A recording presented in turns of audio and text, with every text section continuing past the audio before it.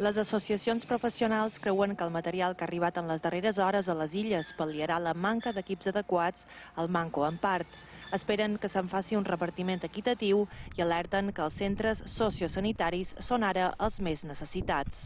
Tenim un greu, un greu problema a residències privades o institucions privades allà on hi ha persones que estan institucionalitzades, allà on viuen, i que no arriben a aquests protocols i que tenen molt de problemes perquè arribin tot aquest material de protecció.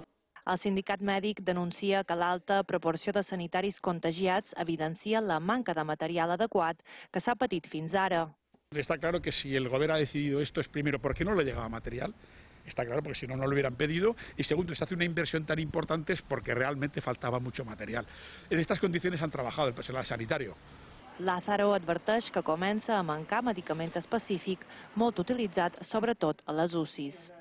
Ahora el gran problema que tenemos ahora, y otro problema que tenemos añadido, porque esto es ir afrontando cada día cosas que ocurren, es la falta de material relajante, no, la, digamos están agotando las existencias de fármacos que utilizan mucho en la UCI para relajar y sedar pacientes. Des del sindicat SATSE denuncien que tot i no haver-hi mancances de personal, s'estan denegant permisos als professionals sanitaris per poder conciliar la seva vida laboral i familiar. I també critiquen que no hi ha un criteri unificat entre tots els hospitals per fer el test del Covid-19 als professionals que hi fan feina.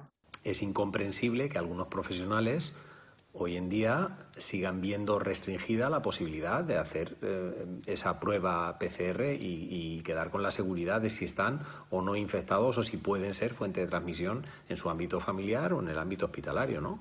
Segons el sindicat SATSE, l'IB Salut ha oferit avui al personal sanitari que puguin allotjar-se a instal·lacions habilitades per no tornar a casa si tenen persones vulnerables al seu càrrec.